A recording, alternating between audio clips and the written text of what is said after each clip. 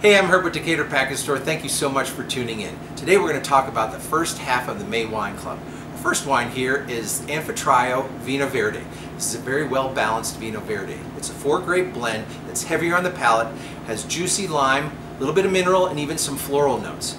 Next we have the Contempo Sauvignon Blanc. I really like this Chilean Sauvignon Blanc because it's less acidic than New, New Zealand and less ripe than California. Lots of bright stone fruits that turn into softer citrus flavors.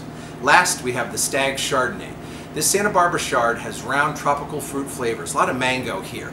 Really like the balance with this one. Uh, ripe but not overripe fruit and enough acidity. So come on in or download the DPS app and get your May Wine Club today. And this also makes a great gift for mom for Mother's Day.